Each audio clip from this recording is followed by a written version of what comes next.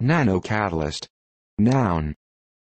1. Chemistry. A catalyst composed of nanoparticles.